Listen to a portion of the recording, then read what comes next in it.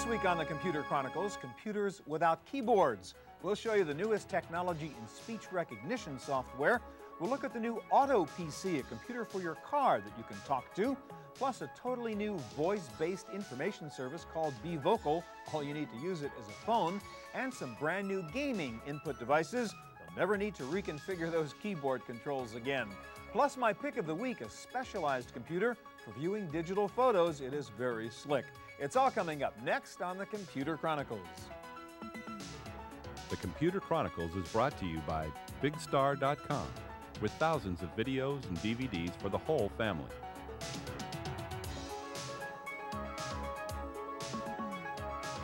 Additional support by TechWeb for up to the minute technology news. And by TVA, Television Associates, bridging the worlds of computers and video with DVD authoring and MPEG encoding services.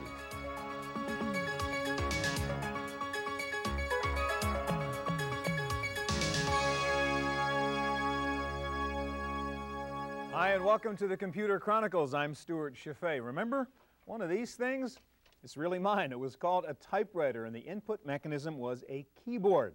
It was a great invention when it first came out about 125 years ago, but unfortunately we are still using keyboards as the way to communicate with a computer. There has got to be a better way.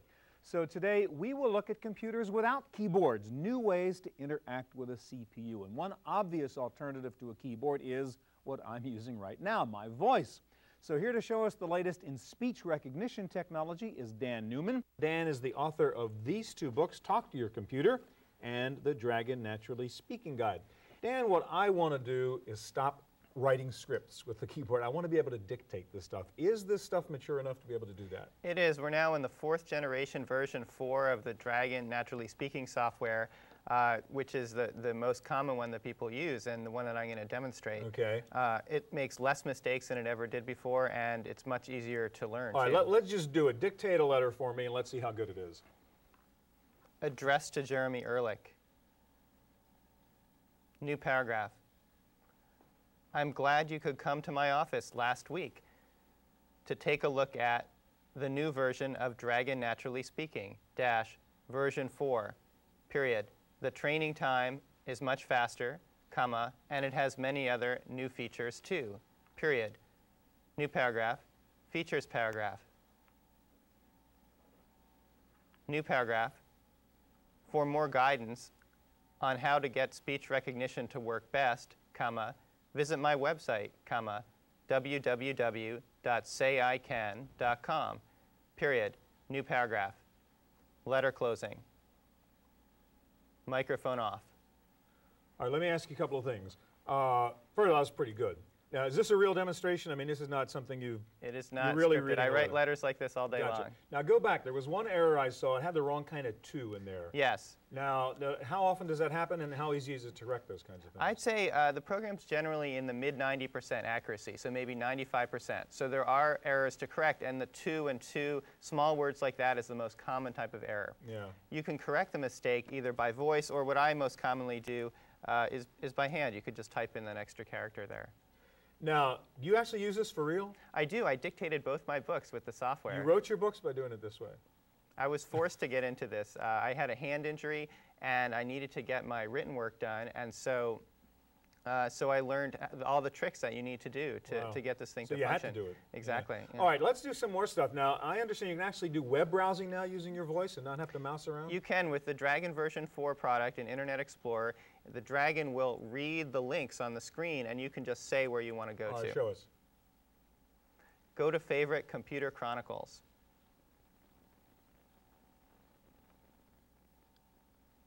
There you go. faster net access. Go back. Go to favorite, say I can. Good taste in websites there. All right, so now how, how, how does it know how to do all that stuff? You have to pre-program it with, with the different links? No, it actually comes uh, set up so that uh, the, there's a part of Windows where all the information on the screen is fed into a special part of Windows that other programs can access. Mm-hmm. Okay. So the Dragon Naturally Speaking software reads and sees what links are on the screen, and so when you say a link or a favorite or Okay. a bookmark, it matches what you said with the best possible choice. All right, now the next gadget I want to ask you about is this new thing, which is sort of a digital voice recorder, but it also will do recognition and translate this into written text? It will. This records the speech, and then you hook it up to the computer. For example, you can dictate when you're in your yard or in your car. You don't have to be near a computer. But then you hook this gadget up to the computer, and it will transcribe right, what you said. Give us an example of how you would do that, Dan. So I'm going to schedule uh, some appointments, and the computer will figure them out. Schedule meeting with Chris for 2 p.m. next Wednesday regarding sales information. Remember, flowers for mom. Remember, oil change in the car. All right, so you've entered a couple to-do items, and you can now put this into Outlook or something like that? Right. This is a product called Dragon Naturally Speaking Mobile Uh-huh. Organizer. And so it does more than just transcribe the speech. It actually analyzes what you said and sends it to Outlook or your Palm All Pilot. right, so that's plugged into your something like serial port, and it's going to read those files, and they're good enough so that you can actually trans. Right. It looks them. for certain keywords. And there it is. Huh? Um, that's right. And those were some. Uh, it's actually Oh, it's- transcribing it's doing it right now. Mhm. Okay. So you can also do this in the field, not just when you're sitting at your desktop. Right. It, it's, uh, it puts computing on the road. Gotcha. Dan, thank you very much. Well, if there's one place you really don't want to have to use a keyboard, it is in your automobile. Your hands are already pretty busy driving the car, or more likely holding your cell phone. The solution in that environment is something called the Auto PC, and here to show it to us is George Giles of Clarion Corporation. Hi, George. Hi. We didn't uh, have room in the studio to drive the whole car, and so this is sort of a demo unit you've pulled out of the car, but this is the same kind of unit that might be sitting in my car. Correct. And just go through what the hardware is here. Okay, this is the main unit here, uh, which would replace a regular CD So sitting in that car stereo. slot in the dash. Correct. And then we also have a microphone here, Mm-hmm. which is used for the voice recognition. And then we have a GPS receiver here Okay. for GPS satellite Antenna that navigation. would be on the roof or whatever. Correct. And we also have a wireless messaging device here. All right, as so well. this is operating the way it would be in a car. It's Correct. Mm-hmm. just in this portable sort of demo mode right now. Now, you said it is a a car stereo. Can I actually operate the car stereo using my voice? Yes, you can. For example, we're in CD player. Auto PC, CD player. play. Auto PC, CD player. Pause. Very cool. All right, so you can run the radio. That's really handy because I think uh, half the time I think I'm going to get into an accident because you're looking over at the radio there while It's you're very driving. safe, yes. All right, next thing. Uh, you c this is actually has a digital voice recorder in here, so I can record memos the way we were doing over there with that little handheld device. Correct. This one's a little bit different, and it has a one uh, push button, and it'll actually start recording right now, as you can see. And we can see the sound. So you're actually recording a memo right now, theoretically, or recording what we're saying. Correct. And what you can then do is export it on the compact flash card. Ah, and then take that file and just shove it in another device somewhere Correct. else. And it's uh, recorded as a wave. Can you actually play that back to, to listen to it? To see if it Sure. worked? Auto PC. Auto PC. Voice memo. Play. button, and it'll actually start recording right All now, right, as very you cool. can see. And we can see the All right, sound. so you're this- actually made record. This also is sort of a, a PDA, if you will, right? I can keep contacts in here and that kind of information I would keep in my Palm Pilot or my Cassiopeia. Correct. We have a application called Address Book. Auto PC. Auto PC. Voice memo. Address Book. And what we can do here, you can keep all your contacts with telephone numbers just like you would on a PD. You could just ask for somebody's name and it would give you their address? Correct. For example, we're in um, a person called Kelly Uckman, Auto PC. Auto PC, Address book.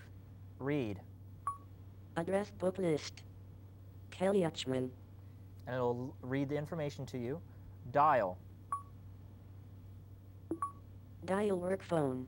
and it provides that information. 310-763-0929. So it could interface with my cell phone and actually make the call so I don't have to do that stuff either. Correct. Uh, this is a Nokia phone. We have a cradle for it, so you can use it hands-free. Okay. free. Now, how do I get all this data into the Auto PC? Uh, you can either do it by uh, infrared. We have IR on the Cassiopeia, and we also have IR on the Palm OS device. Okay, so you can download your contact list from your, your handheld, your palm top device, through the IR port. Yes, there's an IR port on the left-hand side, and it goes both ways. You can do it back and forth.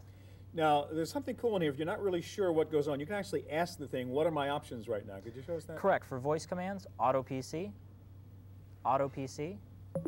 Address book. What can I say?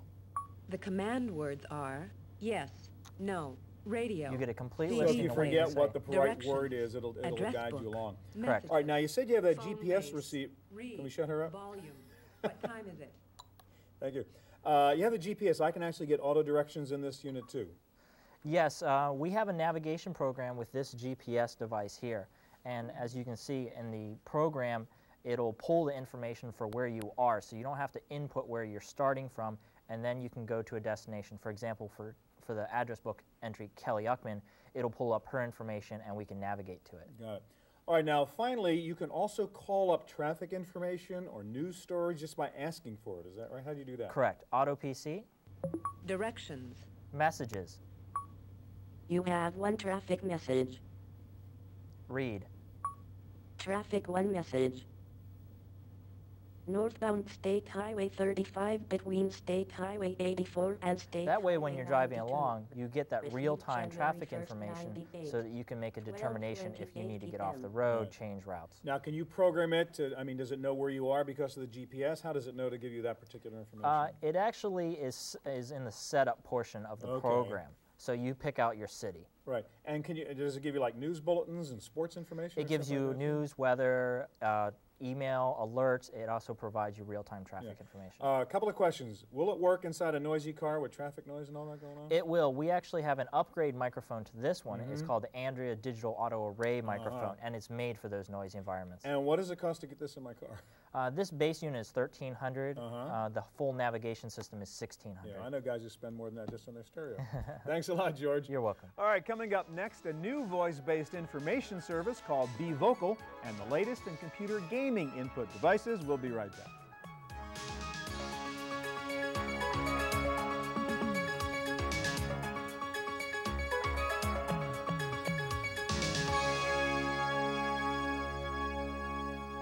Well, when you need some fast information like driving directions or weather, it's not always practical to log onto your PC and type away. Speech may be the most efficient input and output mode. So here to show us a new approach to accessing computer-based information is the founder and chief technology officer of Be Vocal, Michael Berner. Hi, Michael. Good morning. So what are you guys doing with BeVocal? Just explain the basic concept. Uh, at BeVocal, we're aggregating uh, a, a large array of applications under one phone number. Uh, it's a toll-free phone number, and you'll call into the number and get access to things that you uh, normally get on the web, such as driving directions, traffic, or stock quotes, but it'll all be on one uh, free phone number. right, this is voice in, voice out, the kinds of stuff I might have to surf for. Yes, actually, it's voice in, uh, but we also provide different output methods, and I'll kind of highlight Right. some of that Well, today. let's give us an example. Uh, you needed directions. This is real case. To get from your office to our studio, you use BeVocal to do that. How do you do that? Okay, uh, well, let's, uh, let's go through that. I'm going to call in to BeVocal right now, Okay. um, and we've got a, a number up. And again, you could be doing this from your cell phone in the car. Yes, Okay. yep, Michael, and uh, please say your password. 5309. Good morning. Welcome to BeVocal. How can I help you? I need driving directions. Okay, I need to get your starting point. Please say a city name, airport, or saved address. Work. Now I need to get your destination. Please say a city name, airport, or saved address. Mountain View. Mountain View. Is this correct? Yes. Please say a street name in Mountain View. Charleston. Say the street number. If you don't know the street number, say, I don't know it. 2415. I need to confirm the address with you. 2415 Charleston. Road, Mountain View. Mm-hmm. Is this correct? Yes. Just a minute while I look up those directions for you. Did you know that BeVocal also provides real-time traffic So now she's going out and, and actually and getting the route for you. information? So we, we need a little. a little commercial in between? Yeah. Okay. This is a free service. Yes. For more Paid for by the information about sponsor. our Yes. Okay. All right, I have your driving directions. Would you like me to read directions or email directions? Email them to me. You ever read them also? Your directions have been sent. Would you also like me to read the directions to you? Yes. Estimated driving time is six minutes to drive this three mile route. There are three steps total. It's really Step close. one start out going northwest on West El Camino Real. Go one mile. Next. Step two turn right onto San Antonio Road. Go two Hmm. miles. Spell that. Step two, turn right onto San Antonio. S A N A N T O N I O Road. Go two miles. Okay. Next. Step three, turn right onto East Charleston Road. Huh. That was the last step in your route. You can exit by saying So now goodbye, one other thing we or can for do is more I, I commands, checked traffic this morning. There's a lot of construction on El Camino. Okay, so real quick, yeah. Uh, main menu. I'm sorry, I couldn't understand you. For a list of commands to help you navigate, say help. Main menu. Going to the main menu. Say cancel if this is incorrect. Welcome to BeVocal. How can I help you? Traffic. Welcome to BeVocal real-time traffic reports. Please say the name of a highway, expressway, oh, Or or the bridge in the Gate Bay Area. Okay. Golden Gate Bridge. Getting traffic reports for Golden Gate Bridge. Say cancel if this is incorrect. At this time, there are no incidents reported on the Cool. Golden Gate right, Bridge. let's talk about this a little bit. This Yeah. is very impressive. This thing actually works. So this is, let me understand, a free 800 number.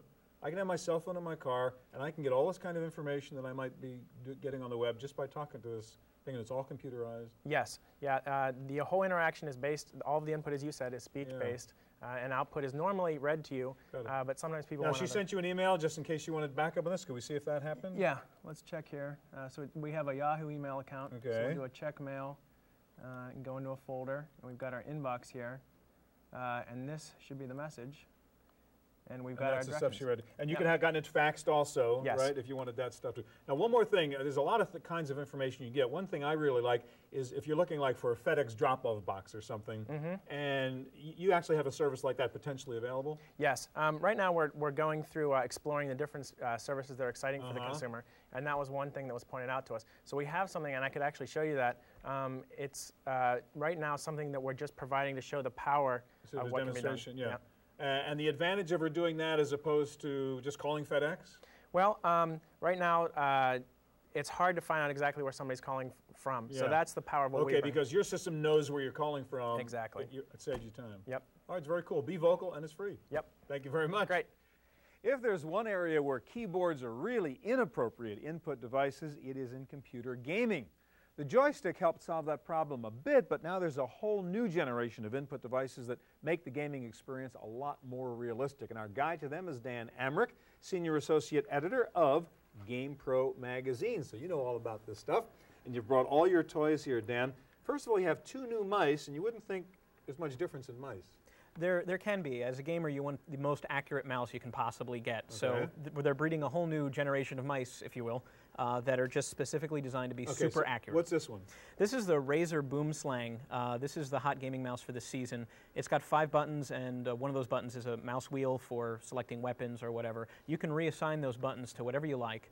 Uh, Okay, so more buttons, which is good for a gamer, and Absolutely. very accurate. Extremely accurate. 2,000 DPI. Uh, but of course, you're going to pay 100 bucks for it. Okay. And uh, some people don't like the feel of it. It's not Oh, terribly ergonomic. weird design. Yeah. All right, what's the other mouse? The other one is Microsoft's new top-of-the-line mouse. It's the uh, IntelliMouse it's optical. It is optical. There's a there's a digital camera underneath. It No takes wheel, no pictures. dirt, no dust. Exactly. It's very clean and it's very accurate, and it also has five programmable buttons. Gotcha. So gamers love that stuff. All right, let's go to the sort of new kinds of joysticky things. And you have over there, if you could pull out that little gadget. The problem if you're doing a first-person shoot 'em up game is you got the keyboard over here for shooting and navigating. You got the mouse over here for your view, and they've brought all that together in one device, huh? Right. The, the the dual strike from Microsoft. This is that's a common problem. A lot of console gamers can't stand using the keyboard for games at all. Right. So the left half of this controller is a, is a traditional digital pad. Okay. Uh, while the right half is an analog mouse type device. So let's Okay, so can we play on fire it up. here? Yeah, so you can just turn around the right side of the uh, controller and you're moving your head in the game. So everything you have to do is right there in your two hands. Absolutely. It's completely self-contained and uh, Pretty clever. yeah, they've done a, a great job and it's only it only retails for about 40 or 50 dollars. Not bad. So the price point is very affordable if you're a serious gamer. Okay, I want to ask you to load another game on the PC for a second uh, because I want you to show another device here uh, called, called the Racing Wheel. And we're going to put up Need for Speed, Sure. I guess. While you're doing that, let's get over and sort of demonstrate something on the on the Sega. I know I'm asking you to do a lot of things, but Oh, that's okay. yeah, gamers are supposed to be able to do a lot Of of, things. course, You're, you're a Twitch expert, yeah. Uh, All right, so what is this? Well, this is Sega Bass Fishing, uh, which is out now for Sega's new console, the Dreamcast. Uh, but the thing that makes the game the most fun is the custom fishing controller, which is a separate purchase, but it makes the game 10,000 times So I got more like a virtual fishing rod here. Absolutely. It's got a rumble pack in it, and it's got a motion sensor in it, so it knows when you're actually right, so casting. let, me, let me try. Give it a try. Uh, just, So we're just fishing, ca- so yeah, as if you were casting. Oh, look at that. And there you go. And then reel it in and see if you can get a bass. And then I can actually pull that up like There you go. Uh, so uh, multiple companies make uh, Wow. fishing rods for this. This is Sega's own brand. Yeah. They're going to run you 30 or 40 dollars, but it makes the game so much more. It's like real, real stuff. Absolutely. Oh, I just got Yeah, a little vibration. there you vibration. go. There you go. You've got a pulled my fish. line. I felt. Reel them in. Oh, you missed. Cool. All right. Uh, let me ask you to load another Sega thing up real quick. Unfortunately, the Dreamcast loads nice and quickly. Yes. Uh, and this is another device, an input device just for the Dreamcast, uh, which is a gun, right? You got all these shoot 'em up games, Sure. and instead of the keyboard business and the joystick and the mouse, you got a gun. Right. Um, light guns have been around for a while, but they're starting to get a lot more fancy. There's been some for the PC, but they've never really caught Okay. on. The catch with the Interact uh, Starfly, Starfire Light Blaster, Okay. Light uh, blaster. right, is that it has two triggers, one for regular shooting and then one for reloading. Or you don't Uh, have to like point off the screen Exactly. it's reload time. Exactly. It's also got an auto fire. If you're really feeble, uh, you can have it automatically reload. You can have it even fire for you. So you're just pointing a wand at the screen. Huh. Not a lot of fun, but some people need that. s- Demo it real quick. Sure, we can give it a shot. Uh, and again, the Interact is one of many companies that make a light gun Okay, for so this. House of the Dead is the game we're playing. House of the Dead 2. Yes, this was one of Sega's big coin-op hits. Sure, so sure. the only way to get the coin-op feel is to have a real, And you, you, just point at the gun. screen, and when the bad guys come up, hit the trigger. Mm-hmm. Come on. Well, if the bad guys came up. Okay. Well, we, well, we get the idea. Guns a gun. Sure, Yeah, a gun is a gun, you know how to shoot it at the screen. yeah. Okay. Let's go. There you go. There you go. Okay. Now let's go back to the PC for a Sure. second. Switch, switch our monitor, and ask you to do a million things. Now we got Need for Speed up here, and normally in these sort of racing type games, you got maybe that wheel which is sort of bolted down to your Mhm. desk or something, which is a pain. This is a totally new approach to those kinds of games. Yes, Explain it. this uh, this is the Interact Racing FX wheel.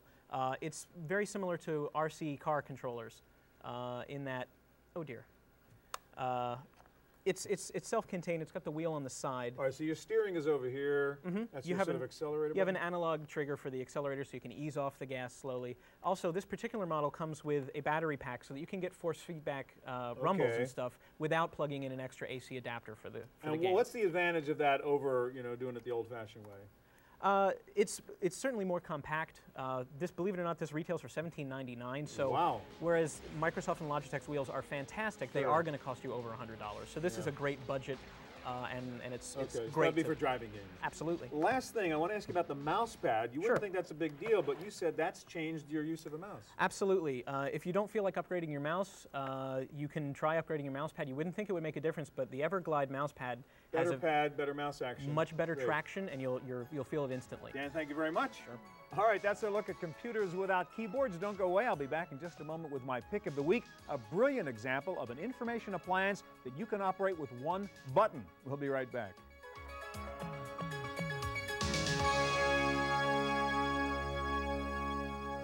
Now for my pick of the week. You may have heard that in Bill Gates' mansion there are electronic picture frames hanging on the walls rather than traditional works of art. And depending on your mood or who's in the room, the frames display different pictures. Well, now you can have the same technology that Bill Gates has in his house, and all it will cost you is 250 bucks. This is the new Ceiva electronic picture frame. It looks like a normal frame for holding a family photo, but this frame is actually a computer complete with modem. In fact, this is a digital photo display device which right now holds 10 different photos. So if I get tired of looking at this picture, I just hit a little button in the back and I cycle through the next photo and the next one and the next one. In fact, if I hold the button down for just a few seconds here, I'll be able to go into slideshow, slideshow mode. There you go. And all 10 photos will automatically cycle through. But what's really brilliant about the Ceiva picture frame is that it automatically downloads new pictures from the web so that if my relatives anywhere around the world have posted new photos on my personal Ceiva album site, I can automatically download them into my picture frame. Let me show you what this is like on the back. There is only one control device for running this. Of course, you've got your RJ11 phone jack and your power cord, but this white button, that's the whole deal. So if I want to go online, I'll uh, put it back here. I simply uh, stand it up and I press the button and it logs onto the site. I don't need to know anything about phone numbers, URLs, setup, or any other computer junk.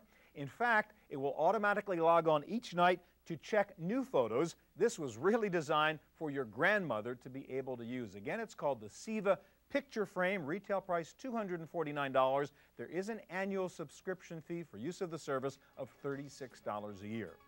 That's it for this edition of Computer Chronicles. Thanks for joining us. If you need any more information about anything you saw on the show, please check out our website. I hope we'll see you here next time. The Computer Chronicles is brought to you by BigStar.com with thousands of videos and DVDs for the whole family.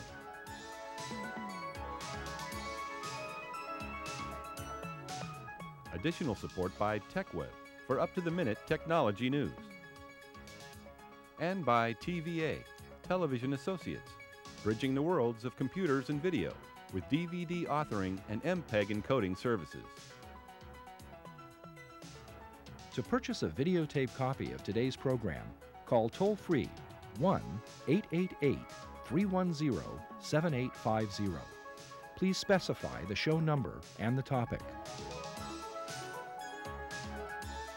Next week on the Computer Chronicles, the DVD revolution. In the market for a new PC, you should buy one with a DVD in it. We'll explain why.